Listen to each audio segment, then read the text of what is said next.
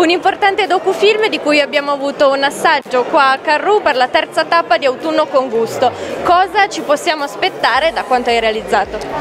Allora, eh, Verrà un'altra estate è il eh, titolo del docufilm che con ATL e con altre realtà del territorio stiamo realizzando. Abbiamo iniziato eh, le, prime, le, prime, sequenze, di girare la prima sequenza, la sequenza che poi sarà anche quella introduttiva e l'abbiamo fatta in questa stagione, nella stagione della transumanza, di rientro, il ritorno proprio perché eh, il titolo lo dice verrà un'altra estate, il mio concetto, quello che vogliamo raccontare è proprio questa tradizione che si ripete, come il titolo dice, verrà un'altra estate, cioè attenderemo un'altra estate, così fanno i malgari che attendono proprio la fine, la tarda primavera per portare le mandre verso l'alpeggio e lì restare fino a quando l'autunno bussa alle porte e c'è il ritorno. Verrà un'altra estate è proprio quella che attende Christian, il bambino di 11 anni, protagonista insieme alla mucca albina di questa storia, una storia che racconta proprio quella che è la vita, il sacrificio,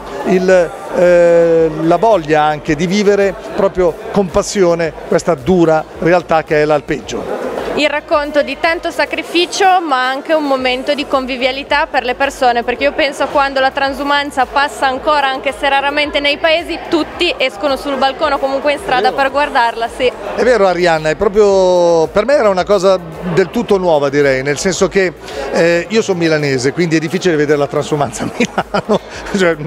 c'è una transumanza d'altra natura d'altro tipo. Però al di là di questo le, le montagne le ho sempre vissute e amate passate, noi avevamo casa eh, in Valsesia, quindi lì c'era, eh, diciamo, c'erano le mucche al pascolo, io andavo a prendere il latte dalla signora Angiolina, mi ricordo che lo mungeva ogni mattina e ogni sera, andavamo a prendere ancora caldo. Ecco, quello che ho vissuto proprio in questo scorcio di valle, la Valle Maira, che come tutte le valli del Cunese ha una suggestione, hanno delle suggestioni e un fascino incredibile. Come dicevi, il fascino del sacrificio che c'è, perché ogni giorno queste persone devono lottare con quella che è innanzitutto la natura, le elementi naturali, ma sono mosse da una passione unica, proprio come quella che vive il bambino Christian, protagonista della nostra storia insieme alla sua mucca albina.